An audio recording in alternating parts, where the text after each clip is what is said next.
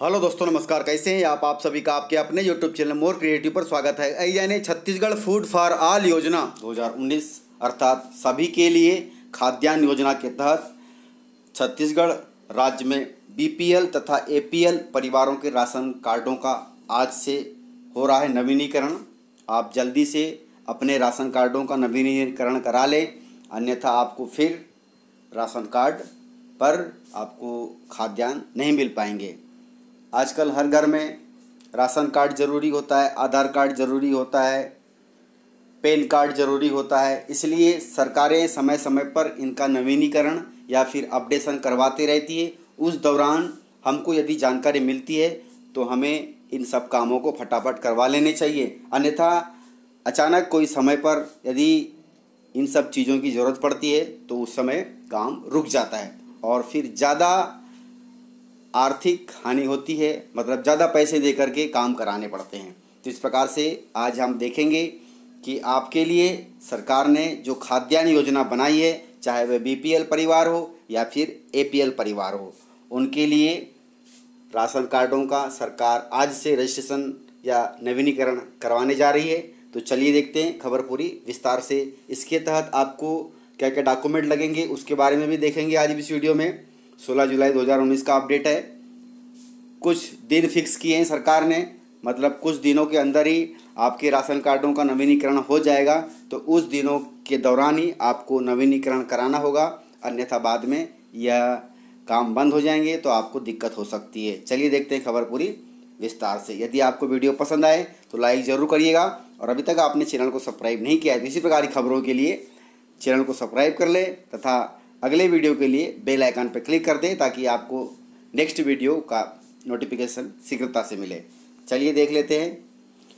छत्तीसगढ़, आज से राज्य भर में बनाए जाएँगे नए राशन कार्ड। पुराने राशन कार्डों का नवीनीकरण भी होगा।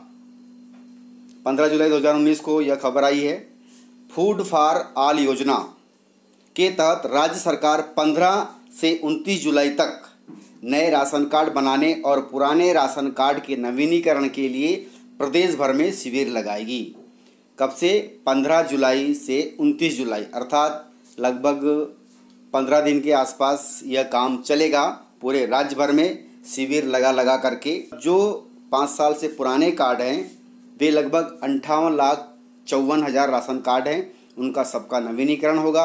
आवेदन लेने के बाद एक से आठ सितंबर तक शिविर लगाकर नए राशन कार्डों का वितरण किया जाएगा। जैसे आपके आवेदन ले लिए गए हैं, उसके बाद उन पर राशन कार्ड बनेंगे और फिर एक से आठ सितंबर तक जहाँ पहले शिविर लगे थे, वहीं पर पुनः शिविर लगाकर आपको नए राशन कार्ड दिए जाएँगे। उसके बाद आप उन राशन कार्डों से खाद्यान्न ले सकते हैं। सस्ते में खाद्यान्न प्रोवाइड करती है सरकार, वैसे तो छत्तीसगढ़ सरकार अभी पूरे देश में ऐसी सरकार है कि धान का जो खरीदी है, वह पच्चीस सौ रुपये प्रति कुंटल के हिसाब से कर रही है। बहुत अच्छी बात है। अभी देश में कहीं पर भी कोई भी राज्य सरकार इतने रेट से धान नहीं खरीद रही है। सार्वजनिक वितरण प्रणाली आदेश 2016 के खंड चार, उपखंड छः के प्रावधानों के मुताबिक राशन कार्ड जारी किए जाने के पाँच वर्ष तक ही वैध होते हैं। इस हिसाब से वर्ष 2013-14 में बनाए गए राशन कार्ड 2018-19 तक वैध हैं। इसके बाद इनकी वैधता समाप्त हो चुकी है। अब नए सिरे से ज़िले में राशन कार्ड बनाए जाएँगे। हालाँकि अमान्य होने के बाद भी लोगों को परेशानी न हो, इसलिए पुराने कार्ड से ही राशन का वितरण किया जाएगा। ध्यान रखिएगा, पाँच साल तक कोई भी राशन कार्ड वैध होता है, उसके बाद आपको नवीनीकरण कराना पड़ता है। ये हर जगह, ये हर राज्यों में ऐसा होता है। फिर भी सरकार ने सहूलियत के हिसाब से पुराने राशन कार्डों पर ही आपको खाद्यान्न देने की बात कही है, जब तक कि आपके राशन कार्ड नवीन नहीं हो जाते। और डेट के मुताबिक यदि उन कार्डों को आपने फिर भी नवीनीकरण नहीं कराया तो आपको खाद्यान्न नहीं मिल पाएगा। ऐसा तब तक चलेगा जब तक नया राशन कार्ड नहीं मिल पाता। बीपीएल के साथ एपीएल राशन कार्ड भी बनाए जाएँगे। ठीक है जी? बीपीएल तो बनेंगे ही बनेंगे, उनके राशन कार्डों का नवीनीकरण तो होगा ही होगा, लेकिन एपीएल परिवारों के राशन कार्डों का भी नवीनीकरण होगा। इसलिए दोनों परिवारों के, चाहे वो बीपीएल राशन कार्ड हो या फिर एपीएल राशन कार्ड हो, सभी अपना कार्डों का नवीनीकरण करवा लें। आवेदन के लिए आपको क्या क्या लगेगा? सबसे पहले तो दो फ़ोटो, आधार कार्ड और बैंक खाते की फ़ोटो ठीक है? नए राशन कार्ड बनवाने अथवा नवीनीकरण के लिए एक पन्ने के आवेदन पत्र में जानकारी देनी होगी। एक आपको आवेदन लिखना होगा कि मैं फलाना फलाना आदमी हूँ, मैं इस गाँव में रहता हूँ, इस सोसाइटी से मुझे खाद्यान्न मिलता है।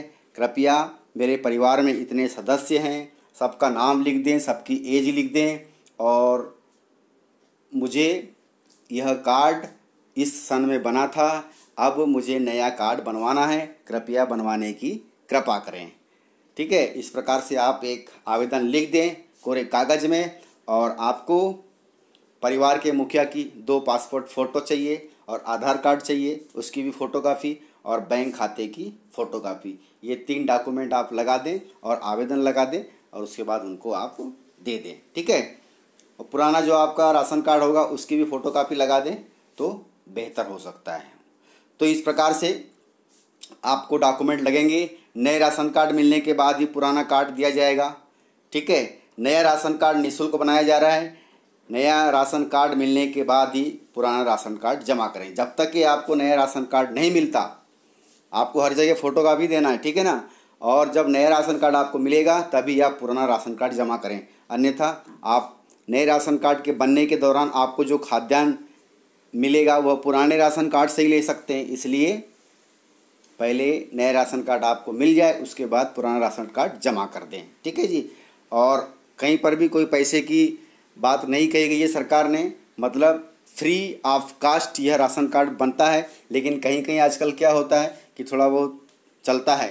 सौ पचास दे दो, जो नगर पालिका के अधिकारी होते हैं, वे लेते हैं, लेकिन यहाँ पर कहीं पर कुछ भी पैसे का लेन देन नहीं होगा, इसलिए कृपया ध्यान रखिएगा। तो इस प्रकार से जानकारी थी। जल्दी आप राशन कार्ड नवीन करवा लें।